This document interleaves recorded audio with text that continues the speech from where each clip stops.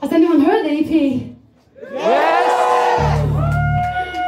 You might, um, you might know, you might know this next one as well. Is what I'm trying to say.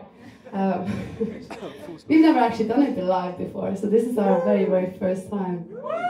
Uh, this is too young. Yes.